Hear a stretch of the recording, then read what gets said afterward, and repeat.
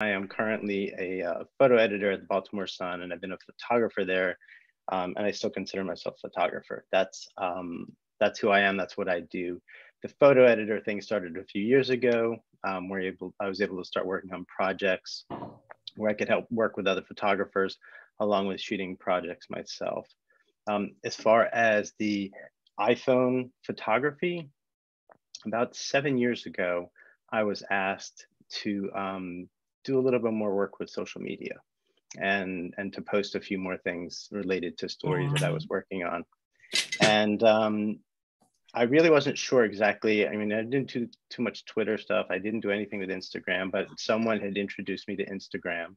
So I started really poking around and I was amazed at the quality of photography that was coming out that I was finding. I was kind of going down rabbit holes and finding amazing photographers all around the world.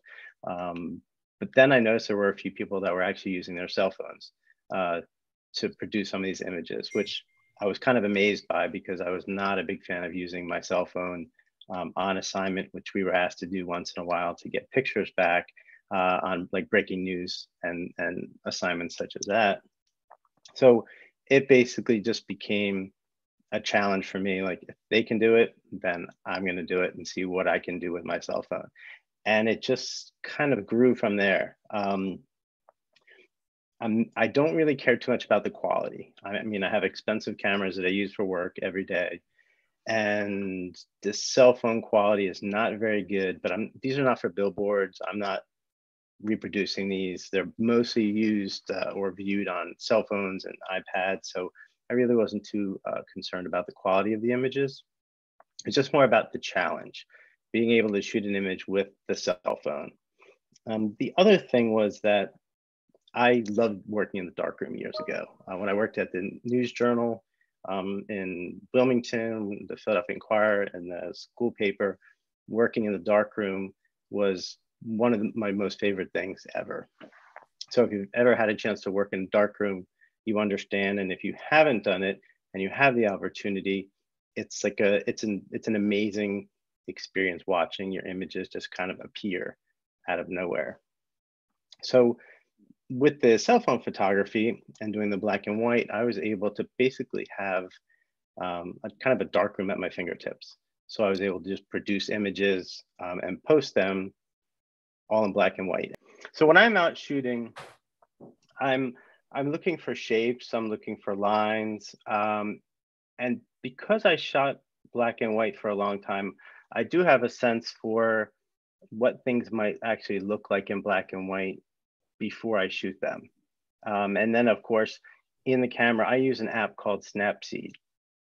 And what I can do is I bring the color pictures into Snapseed and then I take the saturation out and I continue to work with the contrast and um, the cropping in all the pictures that I work on. So I don't use any filters. So every single picture that I work on is, um, is cropped and toned individually. So this is something, it's um, a piece of artwork, uh, I believe it's along President Street, heading down into um, Harbor East area. So a lot of times there are people in my photographs, but if I find anything that has interesting abstracts, interesting shapes, designs, um, I play with them. I probably spend more time walking around and looking than I do shooting. Um, and even after I shoot something, I, I play with it a little bit um, in the phone. And if I like it, I'll post it. I'd say I probably post maybe 10% of what I shoot maybe even less. If I don't like it, I won't post it. I, I don't want to uh, bore anyone with pictures. I'm always looking for something that's a little bit different. Um, this was taken at the state fair and um, they were setting up for the state fair. This gentleman was putting um, some lights on the top of one of his trailers and uh, he actually stopped because he saw me taking pictures and he thought he was messing my photo up and I had to basically let him know he could do whatever he needed to do because I was actually taking pictures of him as well. Hey Lloyd, excuse me, what iPhone yes. model do you use? So I've had a few different models. I'm always several several models behind what the, the most current models are because they're generally company phones. So right now I'm using an, an iPhone SE. I think it's like a, a, a seven or an eight. Um, and then when I was starting out, some of the older photos are with a four and a five. So the quality is, is really not very good. And, and again, like I said, I'm not really concerned about the quality. It's more about, um, uh, it's, it's just the excitement of trying to make something work. Because I, and I can't zoom, these, these cameras on the phones that I'm using, um, you can't zoom very well. With the cameras that I use for work, of course, you can zoom, you can be far away from your subject. With the iPhone, you have to be very close to your subjects. So you, you get very personal with them, even though you're, you're trying not to let them know you're taking their picture, which is a whole other part to this iPhone thing that I'll, I'll get into as well. This was down in uh, Oriole Spring training. So this is another one. So there are times that I find the space that I want to shoot in and I wait for people to walk into my frame. And then there are times such as this one.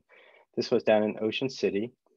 Um, and I saw this gentleman walking along the boardwalk and he had this neat hat on and the lighting was really, really neat. So I basically, I kind of just followed him along the boardwalk a little bit without letting him know that I was following him and trying to figure out a way to make a picture of him that was interesting. I tried a few different things, and this is this is the one that I ended up with that I like the most. Um, the backstory to this picture is that I woke up very early on. Uh, we were away on on vacation. I woke up really early and decided, since my family was sleeping, that I would go down to the boardwalk and just play. And um, my family woke up later to find that I was gone, and they thought that I had left them. So that's become a big joke every time we go away on vacation. That dad's going to leave us again, uh, go wander around taking pictures somewhere. This was another, um, this was down in the Virginia area. Another one where I was heading to an assignment and just found this really interesting um, kind of shaft of light coming, it's, it's a bridge and the light's coming through the bridge in two different places. So I went under the bridge and I just waited for, for people to walk through, through the frame. And obviously you can tell this person knows it. He saw me standing on the other side pointing the camera over. So that's why he's looking over. I spend a lot of time doing stuff like this. You know, I find interesting light. Um, I love shapes, uh, contrast, and I layer lots and lots of things. That's something the video was talking about. I layer things and um, do a lot of reflections. Um, I shoot from different uh, vantage points so that it's not always from eye level. Uh, I always try and change things up a bit. So this is, um, I'm gonna show you where I started and where I finished. So this is Main Street in Bel Air. My wife was shopping somewhere. I decided to wander around. And um, when I'm looking, I'm, I usually find one thing in a specific spot that I find interesting. And in this, I just looked through the window and I saw this kind of neat painting up on a wall. I think this is a hair studio that was closed. So I'm, so I, I play. That's kind of what I do. I just I find something interesting and then I keep working it until I get something that I think is is an interesting image. Whether I use it or not, whether it works or not, it doesn't really matter. You just you're trying to um, try different things with it and explore things. So this one the only way for me to make that face show up was to actually have me standing in front of it. You can actually see my camera down there too, my cell phone. Um, and then this is the, the final product. When I go back, I, I crop a lot too. I don't, um, I burn, I dodge. That's one of the things that's really nice about the uh, Snapseed app is I can go into specific areas just like I would in a dark room and I can dodge and I can burn. Um, and I also crop things to get them out. You know, when I'm shooting this, I know that those cars down in the bottom right, they're not helping my frame at all. So I do know at some point when I edit this that I'm gonna crop them out as much as I can. Same to the left. Um, there's a little something over here on the left side of the frame I'm gonna crop that out. And the same with the right side of the frame. I'm gonna crop that out as well.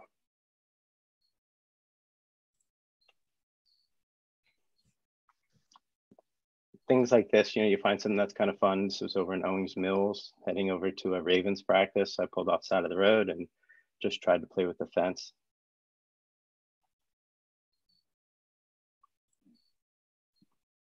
Other things that are graphic, you know, again, always looking. Something that Sandy said is um, always looking around. This is, um, I think this is on St. Paul by Mercy Medical Center.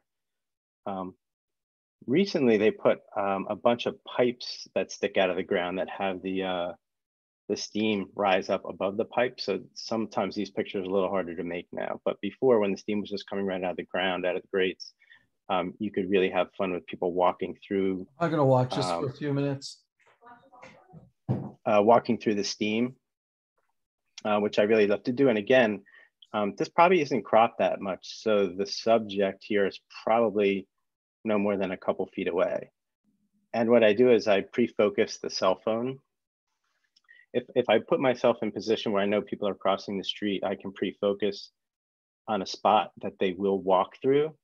And then I just kind of wait for them to walk. And then, you know, once they walk through my frame, I start taking pictures and again, I'll I'll shoot several of these. I'll, I'll I might spend 10, 15 minutes, maybe 20 minutes just trying to make something like this work. Um, I'm super patient when it comes to finding something that I think will work. And I'm more than happy to just really wait it out. I'm almost patient to a fault. There are times when I just have to pull the plug and say, okay, it's, it's time to go. It's not going to work. This was um, part of a fashion shoot that we did at Pimlico. Again, just using shapes and lines.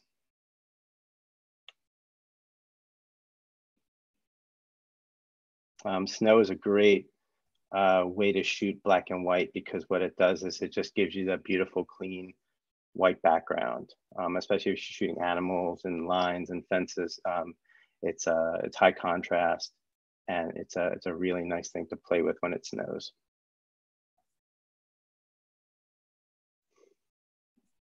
this was, um, I think this was over in uh, Fairhill. We were doing a feature on one of the Preakness horses uh, a few years back that was coming to uh, Pimlico. And again, just another way of using you know negative space. Your subject doesn't always have to be you know smack dab in the middle of your frame.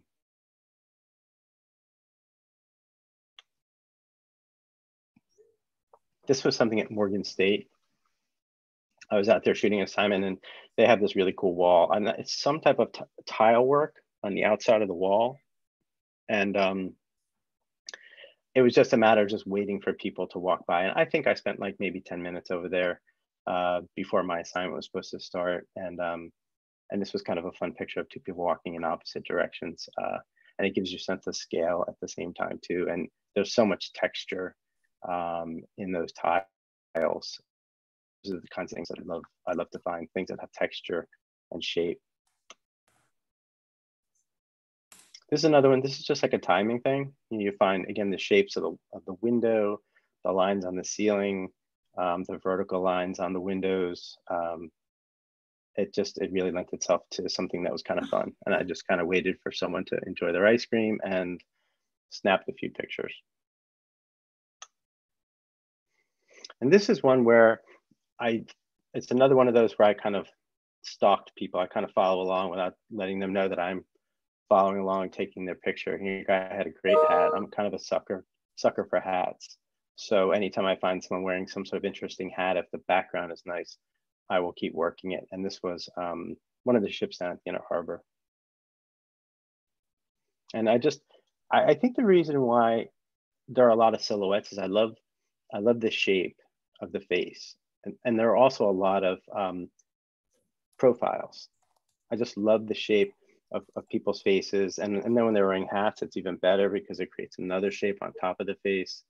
Um, I just, it's just a fun way to, um, to capture some of the silhouettes. Obviously, if someone is looking right at you or behind, it's just kind of a, a shape with no texture because you can't see the face.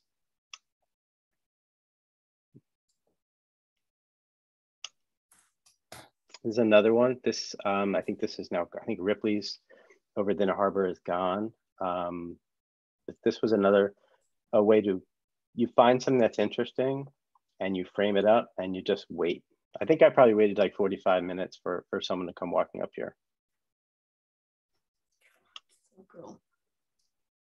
Um, and same with this, this is again, it's just shapes, um, getting close to your subject, filling your frame. Um, and then again, when I put it in my phone, I'm playing a lot with the cropping, like deciding what, what do I want in, what do I want out. Um, if there's something that's really not helping my image, then I'm gonna try and crop it out, but still keep the composition in the frame. So I'm sorry, Lloyd, I just have to ask you, this is Sandy. Sure. Sure. So I know you're using Snapseed. So what are you doing to get your blacks black? What what are you doing to get those silhouettes? Okay, so the first thing I do um, for something like this, um, obviously I, I have my frame figured out and I know it's going to be a silhouette because I know I have a bright background. So they should be pretty dark to start. Like I'm not going in and doing any burning and dodging on the people to try and get them to be, to make them darker and make them a silhouette.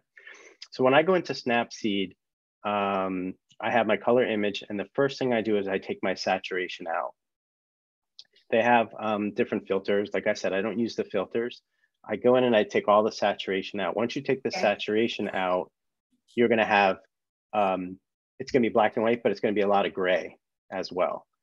And then what I do is I go into the contrast and I start playing with the contrast a little bit. I start bringing the contrast up and the contrast will start to boost the highlights a little brighter and it'll start to bring your grays into a, a deeper gray or sometimes black, depending on how far mm-hmm. you want to go with your contrast. Um, and then from there, you know, there's a really cool little burning and dodging tool. So if there are certain areas of your frame that you want to burn, which means making it a little darker, you can you can burn them down or you can you can lighten them up. So you can actually bring the contrast up in, in specific areas. So once I take the saturation out, I'm really playing with the contrast. And then there's also highlights. You can boost your highlights up a little bit. And you can also take your shadows and bring your shadows down. So there's all sorts of things that you can play with um, to create your black and white. And it's almost the same thing I used to do in the darkroom. We used to have filters. Um, if anyone worked in the darkroom before, where you would put a, a red filter um, over um, your the paper that you were exposing, and you can you could change the amount of contrast that was in your black and white picture. This is kind of like doing the same thing, and that's kind of like that's always been my rule. Like the things that I could do in the dark room, I always feel that I can do with my photos. The same with the photos that I work for when I'm doing stuff in the newspaper. Um, just like we don't clone anything in the newspaper, we don't take anything out. I don't really take anything out in these photos either. And thank sometimes you. things are subtle. Oh, sorry. Yeah, no, thank you. um, and a, a lot of times there are people in the photos and they're subtle. You know, there's someone down in the bottom center of that. It just, a lot of reflections and lines and shapes. So this is one, this I think I shot I think about a month ago. This is pretty new. So this is where I start. You know, I find something that's kind of interesting. And what's again interesting is that there's that one kind of bright strip at the top of that frame. And it's a slightly busy intersection. This is over in Harbor East, um, not far from the Four Seasons. And there were some people that were walking back and forth by that space. So to me, even though this is a color photo, when I'm I'm looking at what I'm shooting, I kind of envision what the black and white is going to look like. And I know that even though those bricks are kind of like a, a clay color, um, I know that's going to be gray. It's going to be a light gray. And I know the subject obviously is going to be dark. And then in the foreground, um, the thing that I get the most joy out of is being able to make a picture that's I don't want to say it's never been done before, but if I told you what this was reflected off of, you probably wouldn't believe me. And if I said, hey, go out there right now and try and figure out what I reflected that off of, it probably would be pretty hard to, to find it. I was walking back and forth and I noticed there was a scooter sitting on the on the other corner, right in front of me. So I walked up to the scooter, and there's a at the very top of the scooter, there's a little black plastic piece that's at the, the very top of a scooter. So next time you see a scooter, you can check it out. And what I did was I put the camera right up against the, it was a shiny black piece. I put my cell phone right up against the edge of the shiny top of the scooter and angled it up towards the building and then waited for someone to come walking through that space.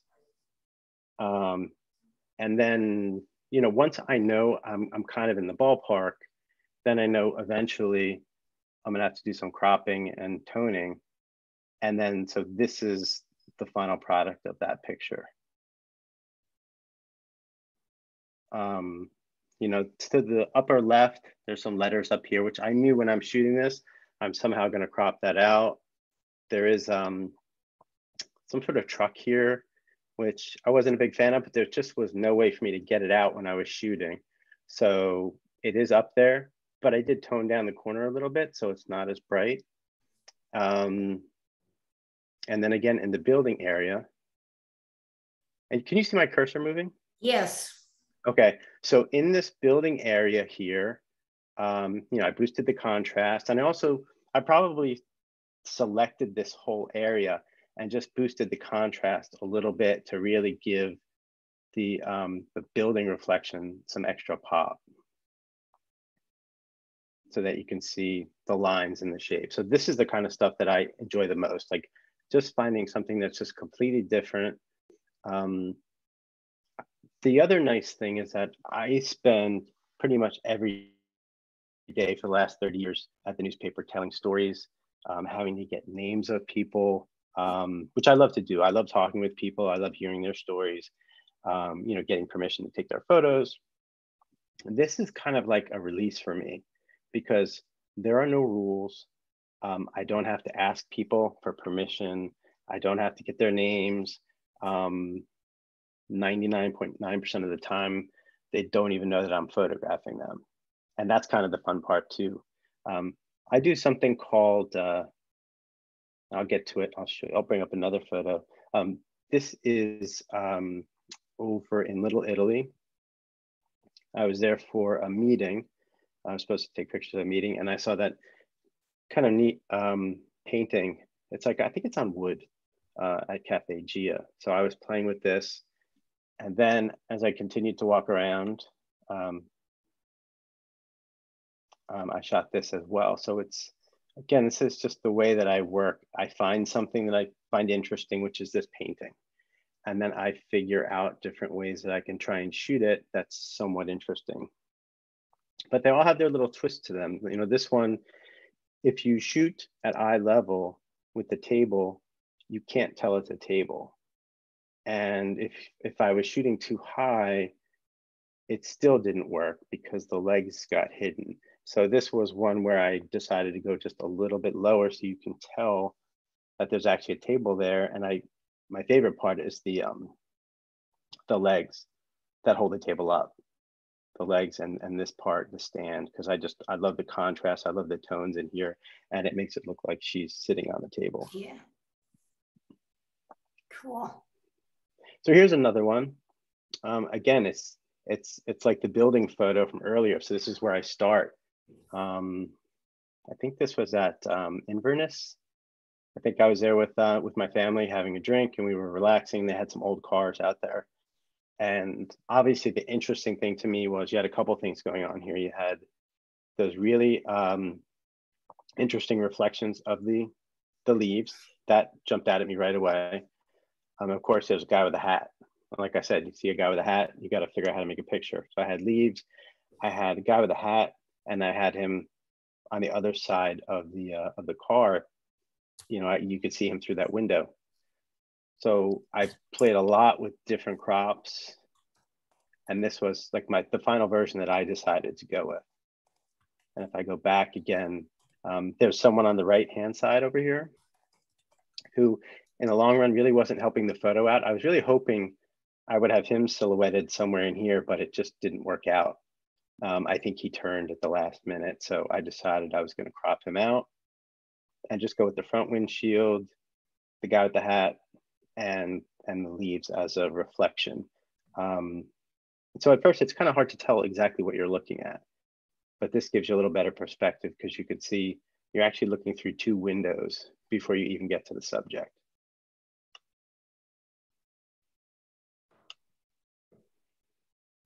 And this was taken over at Center Stage. I was there to do a play.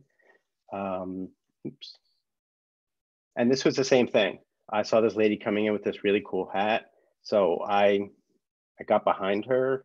She was maybe three or four people back in line waiting to walk into the um, into the play. So I, I focus on her. So I know I'm focused at a certain distance. There's a little bit of movement kind of in her hat here. I mean, it's pretty mm-hmm. dark. Um, but I focused on the hat and I just kept this, I kept pace with her as she started to walk in and, um, and then lifted the camera up so that I can kind of frame all these lights above her hat and some of the bodies that are on pictures um, up in the left-hand corner. And I might have shot seven or eight photos as she was looking around trying to figure out where to where to sit and decided to go with this. It's another out on assignment and church across the street. And it almost looked like the church was on fire based on the clouds that were coming up behind it. And I just kind of kept playing with it and playing with it as the clouds were moving. And then, uh, you know, a bird went flying through it. And I thought, okay, well, that makes that makes the frame for me. So uh, again, just something different. I love clouds. Anytime you you can work with clouds in black and white, um, clouds are always beautiful. Anytime I see really interesting clouds, it's almost like, okay, well, how can I make a photo of those clouds? Another one, um, this was in a restaurant. And again, this is just playing. I kind of have it framed up and I'm just waiting for people to walk through uh, one of those squares. So this is an example. This is um, three different photos of the same, same subject. So the subject is this print in the window, which I found kind of neat. So I, I kept playing with it, and this is one version of that print. This is another version of that print. You know, there's a subject here. Wasn't really a big fan of this one, but again, it's it's the thought process. You know, just constantly working something. How are you going to make a picture out of it? How are you going to make a picture out of it? And then the last one, which was my favorite, which was this one. This one's kind of um, kind of intense looking. And I remember when I was going through them, um, the eyes were already intense to begin with, but it just, it's amazing how different this looks from this angle. Again, with me uh, being the shadow back there to highlight the eye. Lloyd? Yes. Um, I have a question from a member. Um, yes. Are you shooting, uh, thinking about a square format? Are you, you know, are you shooting with that in mind? Yes, that, that's a really good question. Um, I am. And the, the hardest part for me is again, I've got 30 years of shooting in a in a horizontal format, you know, 16 by 9 or whatever format you're shooting with your cameras.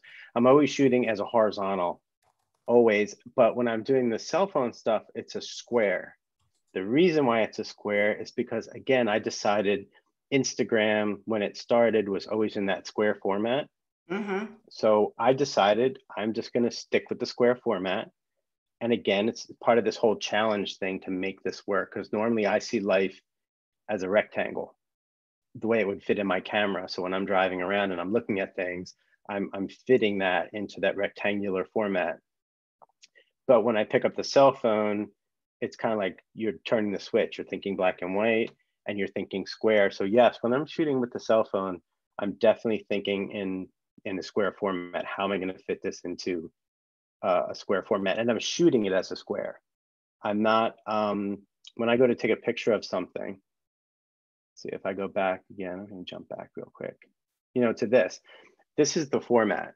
This is the original photo it's square. So whenever I'm shooting with the cell phone, I go from rectangular format to square format so that my focus is how is this going to fit in a square format. Um, and again, it's, you know, I've had people ask me, how come you don't post your other pictures on Instagram?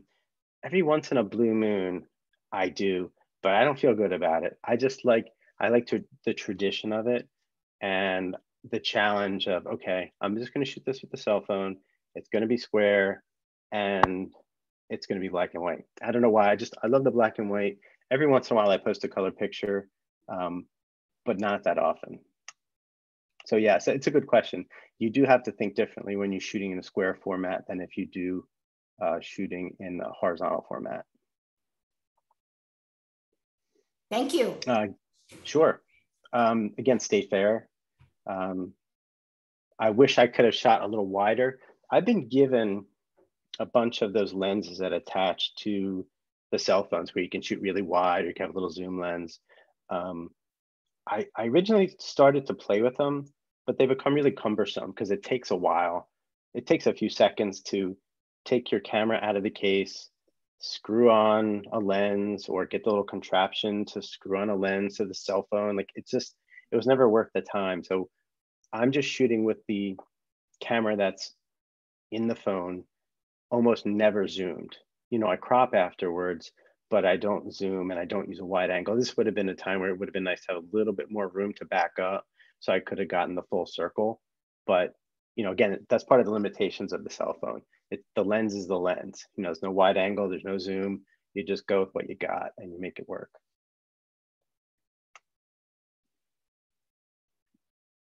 Again, this is another layering effect. I'm just, you know, the flag was waving, the guy with the hat walking around. So I just, again, it's just playing and it's being patient and waiting for the wind to pick up and blow that open and hopefully, you know, someone walks by behind. So this is down in Fort McHenry. Um, a lot of negative space. Um, it's, it's all about shapes. It's really simple. It's, you know, that archway and that little tunnel for anyone who's ever been to Fort McHenry that leads out to that main, that main area in the fort. And they were having a, a service that day.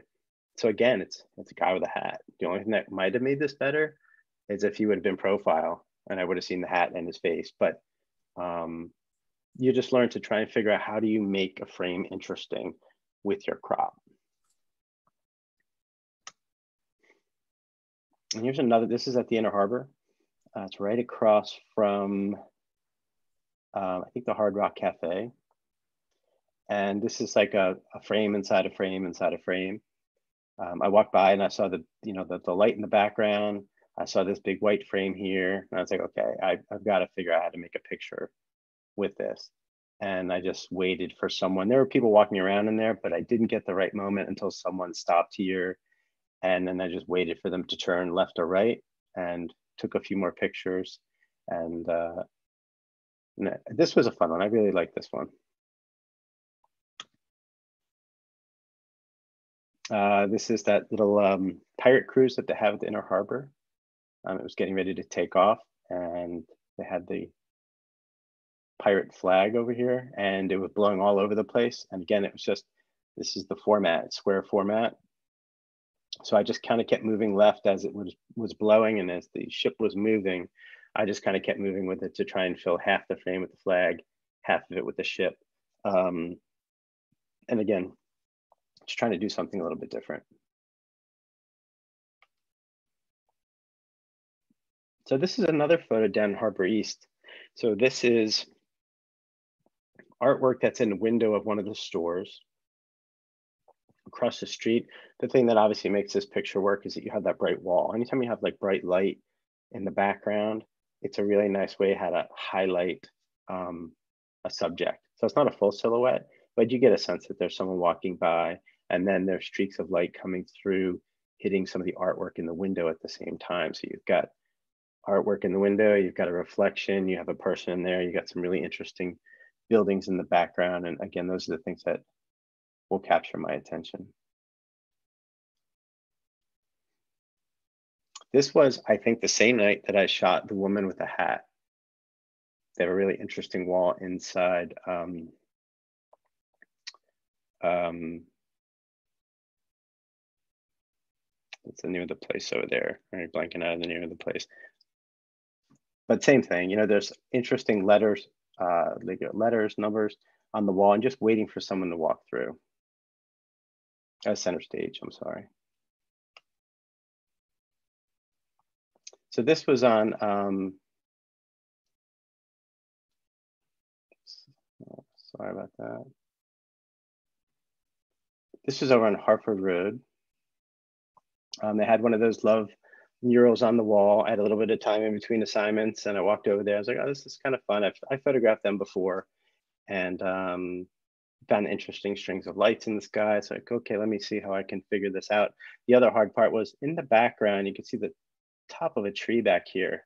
So I had to make sure that I stayed low enough to keep most of the trees off the roof. Um, if you start coming up too high and the trees start poking through, you kind of lost this really nice edge of the, uh, of the building. So again, just having fun playing, keeping the love sign off center a little bit, and then using some of these other shapes and lines to create an image. And this is another, so this, this is actually in our office. This is a guy, he's doing some cleaning. So in front of me to the left is a, um, a window.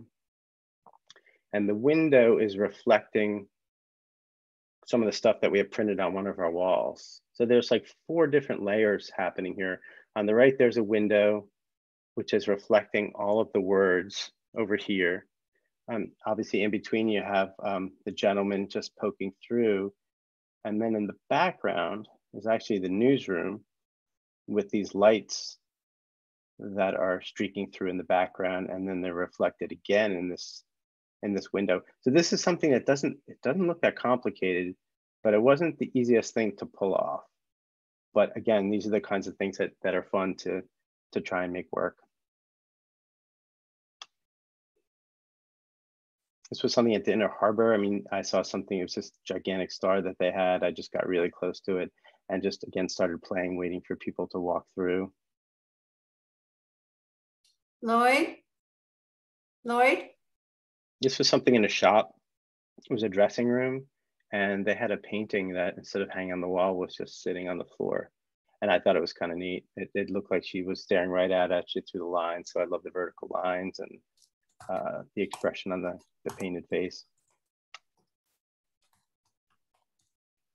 And again, the quality is not great on this. It's a little bit of a crop, but this is um, this is shot through a beach chair. So what you see on the left and the right is um, kind of an Adirondack chair. And this is just a little bit of space between the pieces of wood on the chair. It almost looks a little bit like a cross. And then you have some light that's kind of bursting through here. Lloyd, can you hear me? Yes.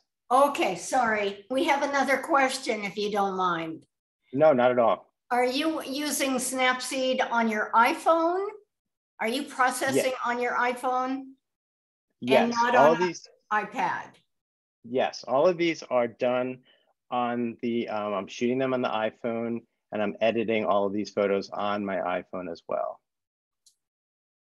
Um, so again, that's that's part of the fun of it is that you can do it all with your phone. Um, so the video that I was trying to show earlier, and I'll try and show it again. I'm not really sure what was happening. I've got so it working. Video, you I've have it working? Mm -hmm. Okay.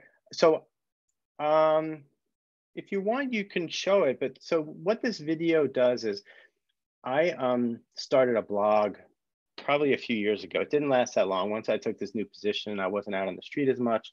Um, we kind of stopped. But one of the blogs that I did was, um, you know, how do you go about finding some of this stuff? Because that was one of the questions I used to get asked. Well, how do, what do you see? People would come up and say, okay, "What do you see right now?" Like, well, Right now, I don't see anything. You know, you have to walk around, you have to look for things. A lot of these photos don't just appear. You have to, you have to kind of hunt them out and, and then make them work.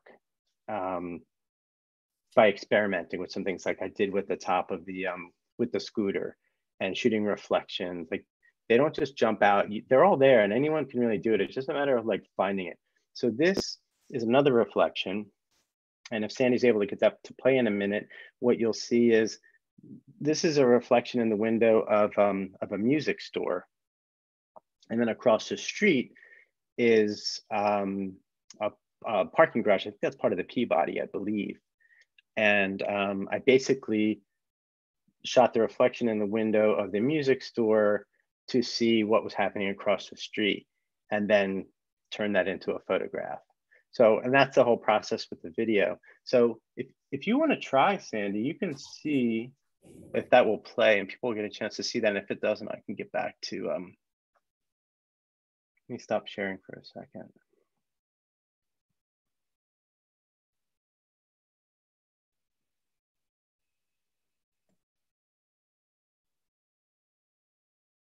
Can you see that? Yep.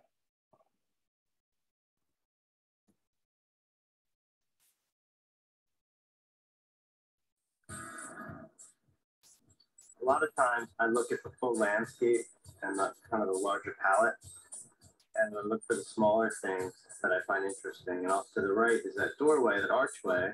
I really do love the light. The light across that is just really neat. Then what I try and do is figure out a different way to shoot this. Come across the street, you've got Ted's music. And when you look at Ted's music, get a whole bunch of things in the window. These are the kinds of things that I do to entertain myself. What I do is I look at what's interesting in Ted's window and what's interesting across the street. And what that is, is black and white, that would look really neat. And that's what I love about black and white. You layer things, you put things in the foreground, the background, I always love that people in the photos, in Instagram photos, I'm shooting in a square format. Right now it's horizontal, but you get the idea of what I'm looking at. There's your picture.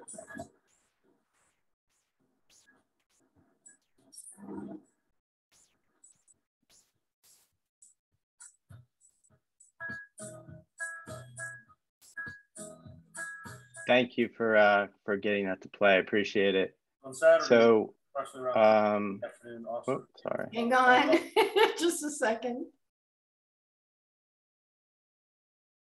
Okay, you can share now. Okay, great. Okay. So, oh, I'm gonna go again. So that gives you an idea of like the process that I take when I'm trying to find some of these photos. It's um, I find something that looks interesting and then you try and figure out how to make it work. Um, I'm going to spend a lot of years at the newspaper um, getting into certain situations where there isn't a lot going on and you really have to try hard to figure out how to shoot something, how to come back with a photo. The nice thing about the Instagram is that I there's no pressure. If I don't come up with something, if I walk around for two or three hours and I shoot and I and I don't see anything that I really like, well, I had two or three hours of walking around in nice weather and looking for things and maybe meeting some people. Um, I don't have that pressure I have to come up with a picture. Whereas when I'm shooting for the paper uh, and I go out to an assignment, um, I have to find something. I can't just come back and say, you know what, I, I just didn't feel it today. Um, you have to find something. So that's part of the thing is being able to make something work out of nothing. So this is another one. Um, this is shot over near the BG&E building on, I think it's on Fayette. Um, it was uh, election night several years back, and there was nothing going on. There was a big break, so I wandered outside and photographed. So these these windows back here are actually all green. It would have made an interesting color picture, but I decided to go with black and white. It's all green. And in the foreground here, you see this little lip. This is actually the top of one of those metal garbage cans that you see around Baltimore. And you know, hmm. metal garbage can, and all the way around has these like openings. So what I did was I stuck the camera inside the garbage can so that I'd have two layers of these um, lines that you can see that that's cool kind of create a, like a again it's a frame within a frame within a frame and then it was just a matter of waiting for someone to walk through and luckily this guy walked through he had he had a great beard he had the hat, he had something in his hand, and it was the timing just worked out. Um, you know, with the cell phone, it's a little bit harder with timing. Sometimes it's a little bit of a crapshoot, uh, but I, I got lucky with this. So this is kind of fun. This is another one like the um, the one with the scooter where you're doing something that's just okay. Let me just put my camera in here and figure out how to make this work too. You know, in a garbage can.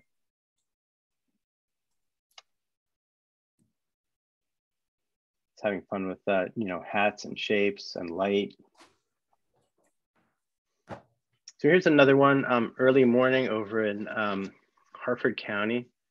I was driving along and saw the horses out in the field. So I, I pulled, I pulled back around, came back and I kept playing with different versions of this. Um, trying to get the, because at one point the horses were standing together and it looked a little awkward because it looked like the horse had eight legs. So you kind of keep waiting and you wait and you wait until you get something.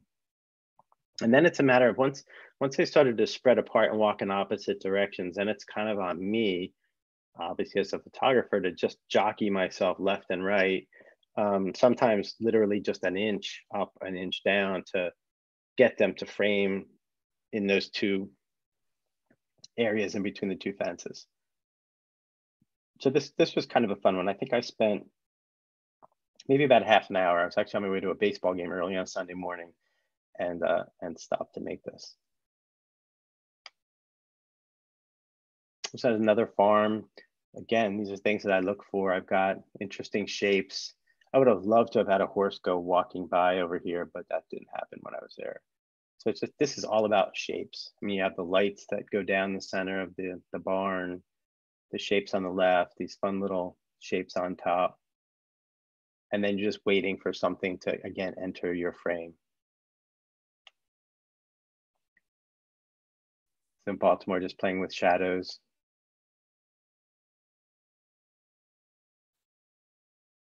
More lines and shapes. So this was um, in Federal Hill, again, in between assignments, I saw the big uh, cat. I hadn't seen that before. So I'm sure it's been there for a while up uh, up on the inside of this um, alleyway. And I walked around for a while. I'm like, well, how can I shoot this? Like, there's a really that's a really neat thing on the side of the building. What can I do to try and make something interesting? Now, this is another time where, for whatever reason, I don't remember why I couldn't back up enough. So I wish I could have had a little bit more of a wide angle or a little bit more room to back up. But I'm also reflecting this off the top of a car. So this is a car that's across the street and I've got my camera just just along the top of the car. Obviously, it's not my car, so I'm being very careful not to put my camera against it because uh, I don't want to scratch someone else's car.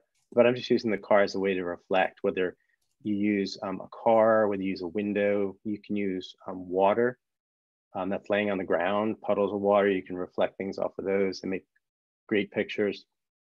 And so I was just playing around with, okay, how can I, what can I do with this? So I did wait for a while to see if I can get people walking through, but I had a limited amount of time. So it just, um, I kind of just went with that. Just little detail stuff. You see little streaks of light and you just, again, you just play with it and try and figure out how to just make a fun photo. Uh, this is out in Havre de Grace. They've got um, uh, it's right in one of the parks there. They have this big sculpture. It's a really cool sculpture. It's made, if you look, it's made up of really small fish. Um, the problem with shooting this is that if you look over to the left, there's a tree back here. So if the tree wasn't there, there's definitely a way to make a really neat photo of this. But because the tree is there, um, you, you can't move any further to your right because the more you go to your right, the more the tree shows up behind the fish. And if you go too far to the left, it's hard to tell that it's a fish because you start to lose the face. So um, I had seen this once before, and this time when I went back, um, I got lucky that there was actually someone at the bottom of the frame. He's kind of really helps to create scale for this.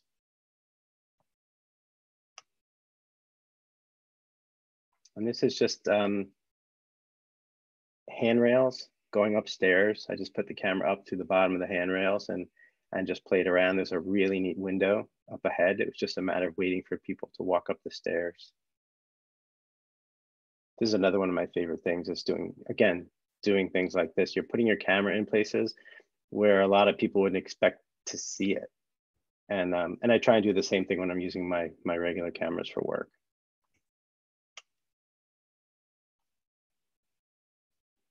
More shapes and uh, again, waiting for people to walk through the large gigantic circle kind of mimicked by this little tiny circle to the left. And you have all these really neat horizontal lines and vertical lines. It's just kind of fun. And then of course you've got one kind of one one offsetting line there. Again, you have more lights. Um, I love shadows. My favorite thing, finding stuff like this and just trying to make it work.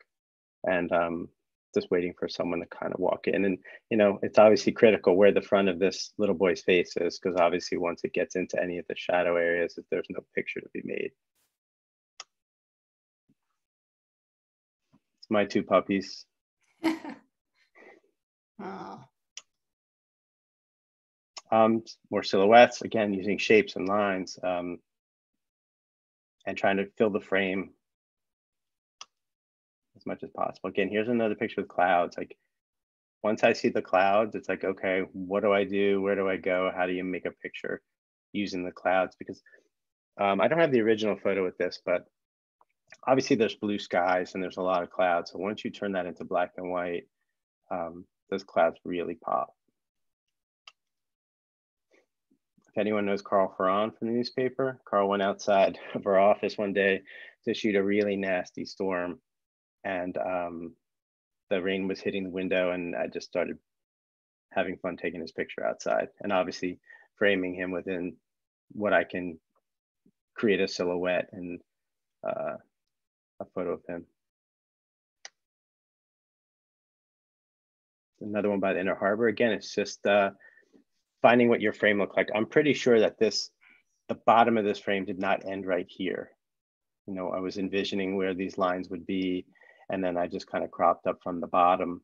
And just again, it's a timing thing. I'm sure I shot several people trying to walk through here and then I picked out the best one uh, where someone was centered within the lines. I think this, this one has two versions. This is another one. This is the same photo, just cropped differently. And I had a hard time. I couldn't decide when I was playing with this. I, I kind of like that, but then I thought, well, the legs at the bottom were getting a little lost. You were kind of losing all the lines at the top. So I just kept playing. This is what I do. I, I play with crops and see what works, what doesn't work. So here's another one. This was at um, this is at Pimlico, and so this is the original frame. And I I cropped this all sorts of ways when I first shot this. I shot it like this, and then I just kept playing with it. What can I do? How can I? It just it had a lot of things when I cropped it um, to have both lines in the frame. It seemed like this guy was getting lost. And I really loved the body language. He kind of looked like a cowboy with like a long coat hanging from behind. Yeah. Um, and this is the way I decided to crop it after playing with it. And what this is, this is a um, this is a garbage bag. He's walking with a garbage bag. It actually looks like a, a coat. Um, so again, I really do think that um, cropping is really important to, to all pictures. There are times where you can fill your frame exactly the way you want it, but I really do think that um, how you crop your picture, your picture can really change the impact of it. And I know you mentioned about working with interns. That's something that I really enjoy doing. Um, and I actually spent yesterday working with the, the intern that we have this year, talking to him about exactly that, like the little things that are on the edges of your frames don't help your photo that the viewer can get lost in. I was working with him on getting rid of them so that the viewer sees exactly what you want them to see and they don't get lost looking at too many things in your photo that you don't need in there.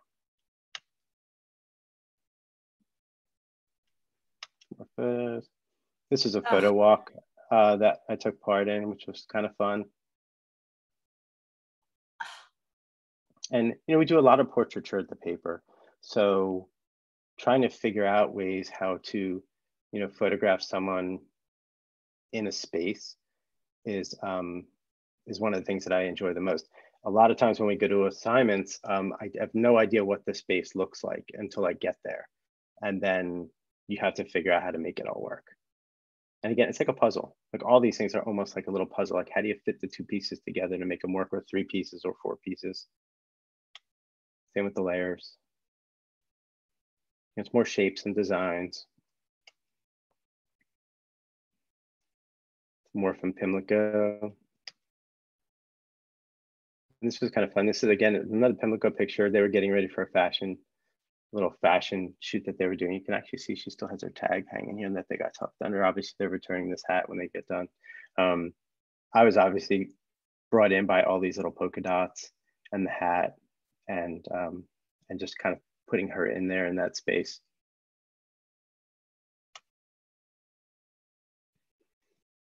Um, and again, this so this is I started to mention earlier is that that point of no return that many times when you're going to photograph something, and I'm sure you've all had this happen, you pick your camera up to shoot something and someone is getting ready to walk into your frame and they stop walking because they don't want to mess your photo up. And a lot of times it's those people that I want to walk into my frame. So what I do is um, in a situation like this, I'm I'm pre-focused in an area where people are walking and I keep my camera face down. I have it, it's all ready to go. The camera's on, it's already pre-focused. I know exactly what I'm going to do. And I wait for someone to walk fully into the frame before I pick the camera up to shoot. So this way they don't say, oh, I'm sorry, I don't want to mess your photo up and they stop walking. And then you say, no, that's okay. You know, I'm, I'm you're fine. By that point, that that moment's kind of gone. You know, when I'm trying to take their picture. So I have this thing that I call a point of no return. That once, once, once they're walking to your frame and you pick your camera up, even if they notice you're taking their picture, they they have to continue through the frame to get where they're going, and then you could still take their picture. Um, so that's one of the things that I do a lot. I have to not let people know that I want them in my picture. Another one from BWI. More shapes. So this one actually, this is a cell phone picture. This one was actually not shot with um, in square format. And this was, this was Assateague Island, you, know, you have the ponies running around. I saw the guys getting ready to, to walk down the beach with their surfboards over their head. So it's a matter of, I just basically parked myself. I saw them coming. I focused on where they were going to be and I just kind of waited for them to enter the frame and then made some pictures of it. And this is another version of that same thing that you watched the video on. Just it's that same parking garage door, just a different vantage point. So this is a reflection off the windshield of a car.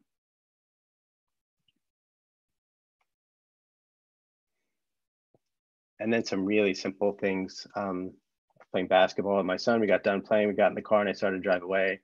And then I hopped out and, you know, he's like, what are you doing? I'm like, well, look at the tree. It, it was just, it, the clouds are what make, obviously make this photo.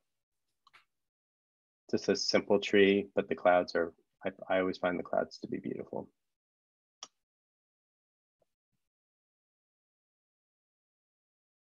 That's out playing with one of my dogs. And obviously when you're shooting water, um, anytime you can get a really dark background, that's the way you can get water to show up. So if you're shooting fountains or people spraying water, you try and figure out, take the angle where it's going to be either backlit or you have a really dark background so that your water really shows up. And she just kept shaking all over the place. So it was just a matter of trying to figure out if I was going to be able to stop her tail from moving with the shutter speed on the cell phone.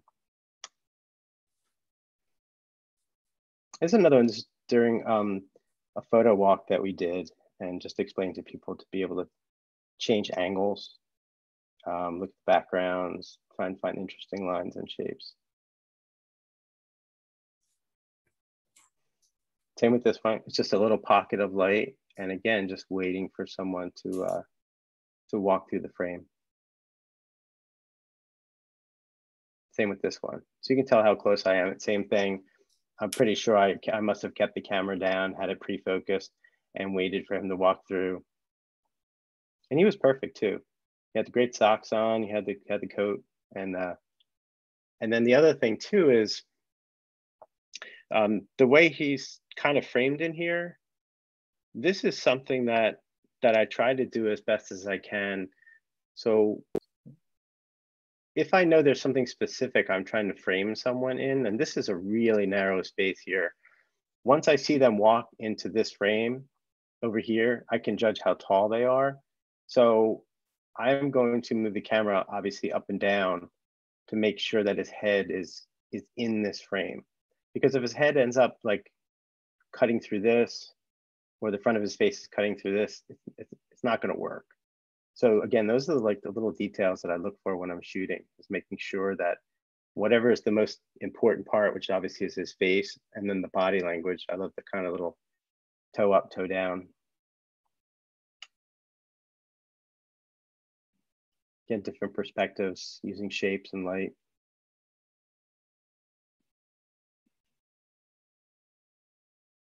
More shapes. Again, these are just fun, fun things to do.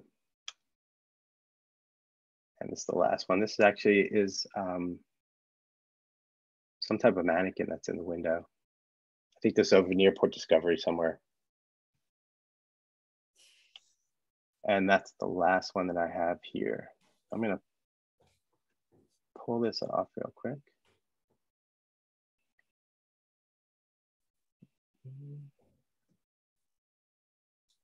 Great. Okay, oh, Lloyd, um, I'm going to say a little bit more later, but everybody, you can turn on your um, video, audio, and ask away if you'd like. Um, I'm assuming, Lloyd, it's okay. It's 9.05. We've still got Yeah, you. absolutely. Okay, good. Whatever you, whatever you need, I'm, I'm okay. here. Okay, I have a feeling there's going to be a, few. yeah, this has been well, I feel like uh, it's been for me, like this was a personal choice for me because I'm a huge fan of your Instagram photos. So I'm just soaking it up. I can't wait to go out and shoot. And uh, you've given me all things to think about. Um, I am going to start with just one question. Um, photo walks. You mentioned photo walks.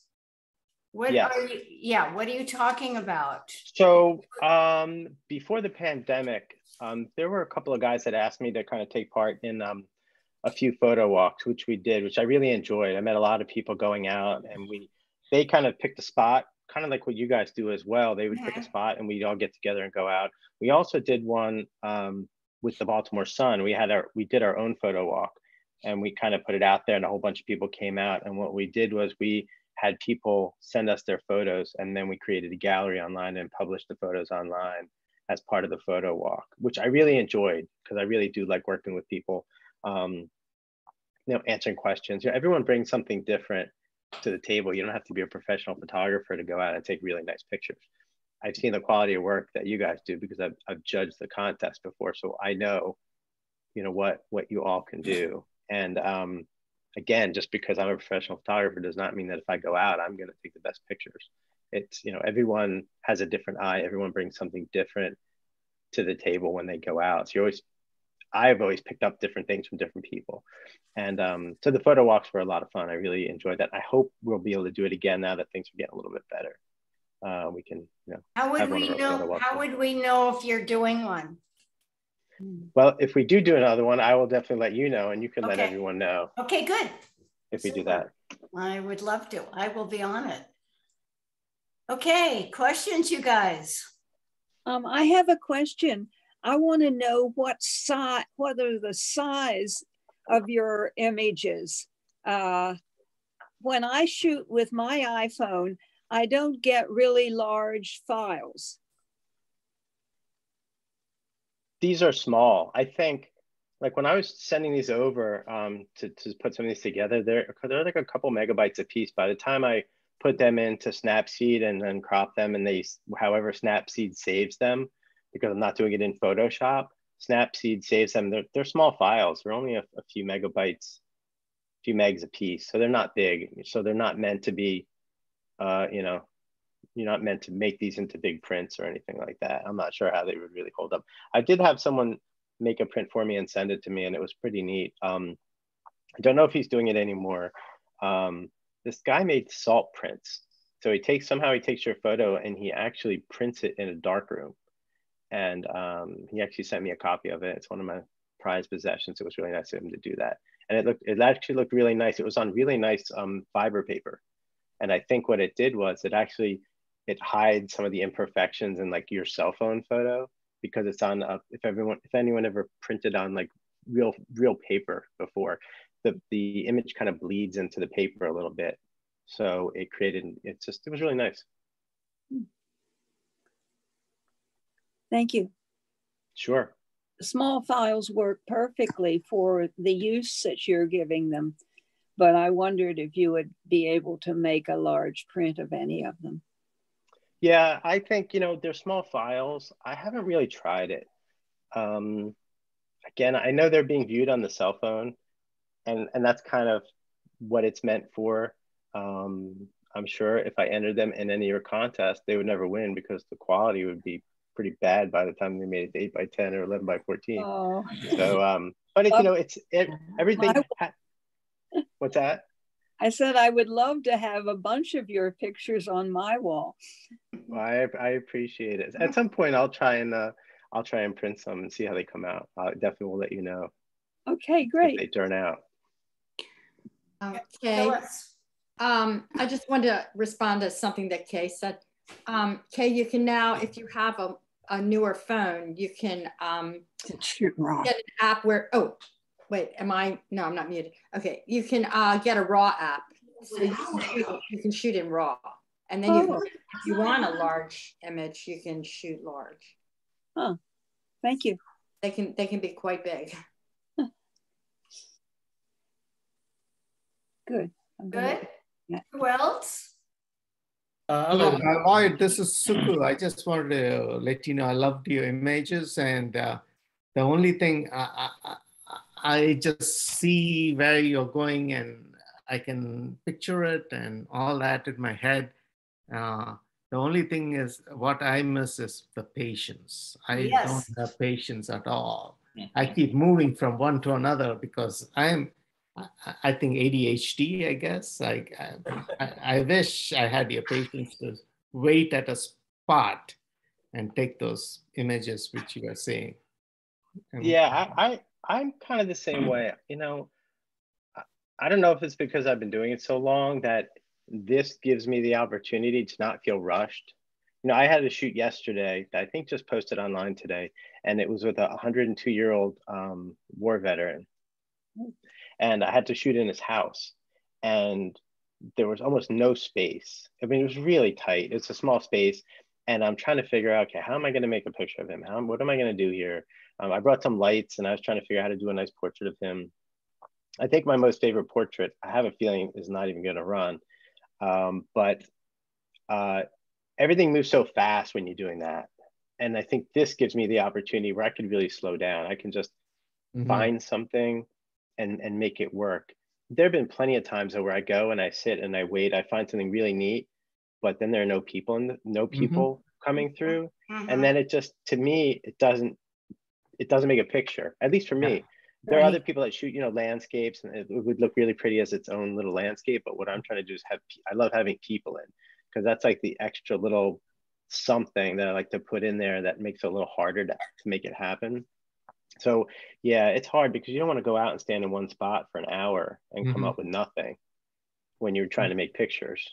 Yeah, I, I have that what we call fear of missing out. I, I feel like, oh, I'm here, I don't get anything. So maybe I should ru- rush over to the other side.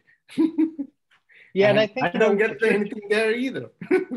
yeah, and I think the difference is when you know other people are out shooting, like when you guys go out, right?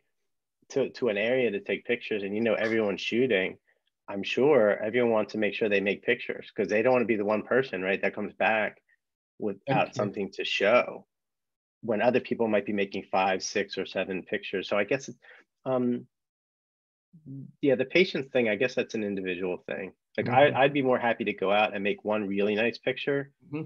than to have seven okay photos. Yeah. And I, and that's kind of the approach I take with my work at the paper like it, to me it's about quality and not quantity like mm-hmm. and i tell the other photographers that too like you don't have to put a gallery together that has 20 pictures give me five really good ones you know or if you can make mm. only one really really good photo for the paper make one really really good photo because that's when we're going to publish in the paper so um i don't know you know maybe you try that sometime if you find something you really like and just wait mm. it out and say you know what i only want to make one nice picture today you know, Thank and you. not five or six. Sometimes can you um do you or do you ever with the reflections or anything or an answer to Suku? um, ever film and then take a screenshot from that to get your photo? Yeah. No, not for the Instagram stuff. The only time we ever do that at the paper, and, and we don't even do that anymore. Once in a while, if we ever had like a spot news event where we had to shoot some video and might have pulled a screen grab from it, but yeah, I don't do that. Because It's it's, still pretty about- easy with the cell phone. To take a screen, yeah, but that takes the Just fun film out a little bit and then you take a screenshot of what you like. I Yeah, I go over to Washington a lot and I'm in the car, so like I'll do a film and Yeah. then screenshot because I might, you know, there might be only one second there that I drove by the Capitol or something that was interesting. Sure. I guess it depends on what you're trying to do. I mean, if you're trying to get a, just like a really nice photo of something, um, obviously you can do that. Um, I guess it's up to the, each individual photographer what they're trying to get out of it. You know, to me, I was just thinking of your reflections as you move around, move the cell phone around the reflections, Sure. if you had ever done that. Uh, That's just, yeah. No, I've never done video and then and grabbed the screenshot, but I know I know what you're saying. It's still to me, it's still about the fun. It's like that challenge of trying to pull it off, trying to make it work. Can you make it work? Did you miss the moment? Um, trust me, I've had plenty of those. You know, plenty of times I walked away and said, "Oh, you missed it." The one time you walk away, and that that happens a lot to the other gentleman who was just up a minute ago. You know, you wait there, you wait there, and you wait there, and then you walk away. And then as you're walking away, you turn back, and the person is now walking through your frame exactly where you wanted them with the hat and with the right clothing. that happens. That's just part of it. You know, sometimes you make it, and sometimes uh, you don't. Lloyd, I really uh, appreciate, aside from the quality of your picture, I appreciate when you contribute. man. I decided there's nothing to, to shoot in Baltimore anymore. And you, you've proven that it's so not true. There's a lot to create. There's maybe probably not much to shoot, but there's a lot of um, places where you can create. And I think you've demonstrated that. And I'm very grateful for that. Sure. Well, you're you're welcome. Thank you very much. I, you know, there are times that I walk around the city, and um, you know, I see these beautiful photos that people take in, in other parts of of, of, of the country. Um, but I think it's it's when you look at the big picture, and it's like what you're saying. It's like you you can drill down and find that that little piece of something, and what I do with the cell phone is so different. Like if you would have told me 10 or 12 years ago that I'd be doing stuff like this, like shooting art type stuff, um, I would have said, nah, I, I'm not going to be doing that. I'm a sports guy. I shoot news, I shoot sports, I shoot features. I don't shoot, I don't even know what you call this. I don't know, it's fine art. I, don't even know, but it's it's more art than anything else. So um, it is there. You know, it's kind of like when you go to a football game or a baseball game, somewhere in that stadium, there's an award winning photo, right? Somewhere during the game, there's a special moment and you're always trying to capture that special moment and you might not but it's there and i think it's the same in baltimore there are those pockets of places if you if you're looking for them that you can find that are um, that are interesting and that are beautiful and, and depending on how you look at it Mhm. Through a garbage can. Um, Lloyd, uh, this is Yeah. Kenny. Uh, first Kenny. of all, I want to let you know I really enjoyed your photo work. And uh, uh, just two comments on it. Um, I like your decision on cropping um, your photos, um, narrowing it down to uh, get to the most important part of the, uh, of the uh, image. Because I find that a, a lot of the young photographers, they either don't crop enough or they crop too much. And you seem to have, you're very thoughtful in where you're cropping at to give the uh, photo impact. So I really enjoyed that. And then the second thing I, I also like about your, your photo work, I like hearing your process. How, you know, you're looking at an image and your thought process process of how you're going to go get to the finished image. And I think um, that's important for photographers to think about when they come up on a scene. What am I looking at? What am I what am I trying to create as my finished image before I even um, push the button? And so I, I really appreciate that, and I could see that all through your your work, and I like your framing with in framing, your layering of your photo. I, I, your your work is excellent. Appreciate it. Sure. Thank you very much. I think, um, you know, a long time ago, I had a, um, a photo teacher. A couple mm. of things that he taught me. Um, he had me, he had me do this thing where I'd go out and take a picture of someone, mm. and then he'd say, "I want you to turn away, and I want you to write everything down that you saw in that photo, mm. like everything. What what was in the background, what's in the foreground, where are the lines, where are the shapes, what were the colors." and what it did was it really taught me to, to really pay attention to everything that was going on in the frame and it's mm. kind of what you were talking about especially with some of the our younger interns that come in you really need to think about like everything that's in the frame. It's not just the subject. It's how that subject is interacting with the background how they're interacting with the light the layers like it's, it's everything. And i think after a while you at least for me i don't think about it as much because i'm doing it. You know i'm moving like literally an inch inch to the left, inch to the right, inch up, inch down, that can make a huge difference in where a face is or what's sticking out of someone's head or um, you know like i was talking with the intern yesterday what i did was i took i took four or five of his photos he's doing a great job he's, he might be one of the best interns we ever had but i'm not going to tell him that because i don't want to big head but I love this kid. He's really good. He's like a go-getter. He just wants to keep working. He was kind of like me when I was like, just keeps going and keeps going and keeps going. Mm. So I took four of his pictures and I said, look, all your stuff is really great, but when, when you're judged on your work, so when people send portfolios in, mm-hmm. you're, you're judged on your weakest work. So if you send 20 pictures in for me to look at, and they're all really good, but two of them are kind of weak, mm-hmm. I'm going to look at those 2 mm-hmm. and say, mm-hmm. okay, why are these two weak? does that mean that picture number 22, 23, 24, and 25 are also weak? Or does mm. that mean maybe you don't know how to edit your work? Like it's all about mm. making sure that everything looks really good. So I took four of his photos and I said, look, these are your photos. So I'm not going to tell you how to crop them because they're yours. Like they mean something to you, but I'm going to tell you if they were mine, here's what I would do to them. Mm-hmm. And I mm-hmm. took his photos and I showed him like, you know, a couple things on both sides of your frame that, that aren't helping. You know, it's like someone's arm a little sliver of an arm. It was really tiny on one side, and there was part of a person on another. And I said, just bring it in a little bit, and then you can focus in right. on what you want the subject to look at, what you want the viewer to look at, mm-hmm. because you can control a lot about. Actually, you mind if I bring something else up, Sandy? What? Can I post something else up? Oh, can yeah. I share something? Yeah, share. Okay, let's see if I can pull it up here. So see if I still have his pictures. Okay.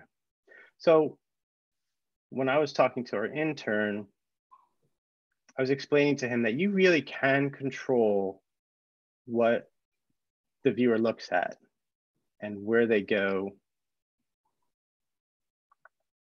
Okay. Can you see this?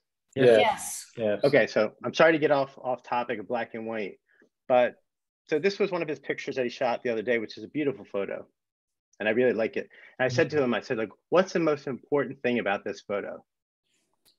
And I said, to me, it's it's this guy's face. Yep. Right. Yeah. This is this is the focal point, right? Yep. Like you got the face, you got stuff dripping, you got stuff all over. The other thing is just all the legs and mm-hmm. arms that are in this photo. Yes. Make this really interesting. Yeah. I said the things that don't make it interesting are this one kind of you gotta get it's kind of bright up here and you got a body cut off. Mm-hmm. This guy's t-shirt not helping the photo. This really white back is not really helping the photo. So I said, if you play with a little bit, you can really get to what the most important thing is, which is mm-hmm. his face. You don't want the viewer to get lost trying mm-hmm. to find his face because this is a really nice photo and you see it, but it takes you a little while because you you're like, okay, well, I'm going here, I'm going there, I'm coming back. So bring it in tight, you know, so that I can control what you see and when you see it. And then all these other things are really great supporting pieces. Right. All these body parts, really nice. Mm. And so here's another one.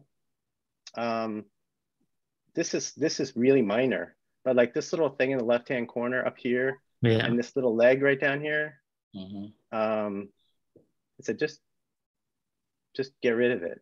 and I cropped it from the top down. I said, you know, what's important here is this, this little Yeah. kid and these two people. I said, I like your leading lines here, but just get rid of that. So here's the other one I was telling. Yeah, Uh, could you hide that um, note at the bottom? Yeah, just hide that. okay. Thank you. Yeah, sure. So here's the other picture. And these are the little things I do in my photos. So over here on the left, you have this orange sleeve and the foot on the far left. And over here, you have the woman on the right. What's important here is what's going on here. Yeah, yeah. And this guy, Mm. guy and his dad. And the intern is really good at this. He's really good at finding things away from the game, away from the real action. And he, he makes these great moments. So I said, what you need to do is you need to get rid of this, but you got to be careful because you don't want to cut this guy's face in half. And if you come in too tight on this woman here, you kind of lose that flow that you have going on. So I gave him a crop, just, you know, really carefully getting rid of this little sleeve. It's minor, it's, the it's the most minor thing. But to me, it makes a big difference because now you're really focused in on this. You still get to enjoy what's going on over here with these people and even with this gentleman and then the woman on the right. Um, I cropped her out because really just, it just wasn't helping me. And then the last one um, was a little bit about toning. And so this was his photo, which is a nice photo that he took. I said, but what I'm getting lost in is I'm focusing on these boxes down here because this is the brightest thing in your photograph. I can't see back here because it's too it's too dark. So what I did was I opened them up a little bit and I also cropped in a little bit from the left. So these little red things over here, your eye kind of wants to just keep looking over here. But by getting rid of it, you have this really nice frame now that goes around these two guys. I open them up just a little bit Yeah. and I, I burn down. So there's a little burning and dodging going on here too. But but again, it's still about these little detail things about cropping that really do make a difference in a photo. Even if you don't notice it, you can help the viewer not get lost. They Mm. go right to those two people. And then all this other stuff is just really nice um, type stuff in here. And then back to, and then one more. This was another one that he took. This is a really nice moment with um, a mother, obviously, and, and her son. And I told him, you know, I love this and I like it, but I'm getting a little lost. You can kind of see where I'm going. You know, you have a guy over here, you have half his face cut off. Um, you got a leg up here. So, you know, just bring it in. You can change cropping a little bit. I probably come down from the top a little bit more, but little detail stuff that I really do think, um, I'll drop this off now, that really help images that you might not think about too much. But I really do think that it helps, it helps photos, little detail stuff. Sorry to go off on that tangent, but I really, Oh, when you talk about the cropping, it's really, Mm. that's really important to me when I'm working on my own images or working Right. with other photographers. It's like really, you know, if it's not helping, then somehow get rid of it, but still keep the flow of the image going. Yeah, that was a great lesson on cropping. I love it. yeah. Sorry, had, had nothing to do with black and white photography and iPhone But photography. no, but still, you have to go to black and white later. you know, I, because I, I think you know, like a lot of people don't realize that when you're looking at a scene, you have um, you have pictures inside of a picture, and uh, and, and and you can find them. You got you just got to look hard. I mean, just like the, the the photo of the Naval Academy, that's a good example of cropping in, and then that photo has greater impact um, than if it was wider. So even though the, the that whole picture is a picture, but the real picture was inside. And, I, and I, I think that's where cropping can help a lot of people. And I, I, I really like your decisions and how you determine where you're going to carry the photo as far as a crop is concerned and creating the impact from the crop. So, Yeah, and, and you play. Sometimes you just you just say to yourself, you know, I'm just gonna crop in and see what it looks like, even if you're not sure. And then you look at it and you're like, you know what, looks better. Or you know what, um, it's missing too much by doing that. You go back out. You know, it's um it's all about what feels good. You know, everyone again has a different perspective on what they like. Um, and some people would say, you know what, I like that little piece on the end. Okay. go with it. You know, that's your picture. So, Lloyd, do you shoot a little wider so that you have the room to crop in where you want, or you try to make that conscious decision up front? I try and do it up front. Mm-hmm. It depends.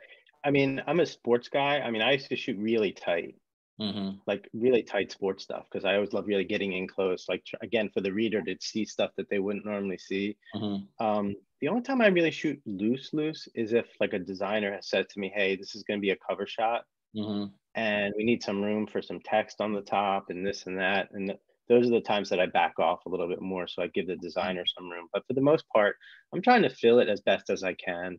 Mm-hmm. And um, you know, if any photographer says that they never have to crop because all their pictures are perfect, then they're they're lying to you. Yeah. That's just, it's just impossible. Right. Um, I mean, yeah, you can fill it close, but there's always some tweaking Mhm. that that usually has to be done. I mean, I wish I could fill every single frame perfectly, but it Yeah. doesn't always happen. Or you take a picture and then you realize, oh, you know what? I didn't notice this, or I didn't notice that, but it looks better by bringing it in or blowing it up a little bit. Right. Well, thank you for your insight. Sure. So, you have any other questions? I guess not. Lloyd, once again, thank you so much. I can tell by um, questions in the chat room and engagement from um, members that um, you really engaged us and helped taught us. You taught me um, and inspired me. So for that, thank you so much. It's just been absolutely delightful. I've been, I've wanted to have you, I think you remember, I contacted you a couple of years ago. No, I remember. I remember. I'm sorry it's taking so long, but thank you. No, thank you very much for having me. It's a it's always fun to share work and see other people's work and take something from it. You know, it's um I do that all the time. I mean, I've been doing this for a long time, but I still I still find things that people do that that inspire me all the time. So I'm glad I can hopefully inspire other people with that work as well. Very good. Thank you. Yeah.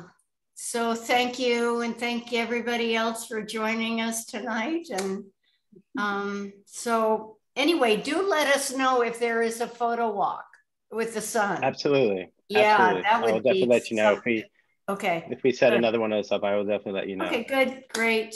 All right. But good night, everybody. Hi. Night. Good night. Yeah. Thank you all very much. I appreciate it. Thanks. Bye. Thanks It's very much, fabulous. Sandy. I can't wait to go out and shoot. I'm going out tomorrow. No, I guess it's Saturday. It's raining tomorrow. Okay, bye. Shoot in the rain. Yeah, I could. Yeah. Bye. Bye. Bye. Gonna end the meeting now.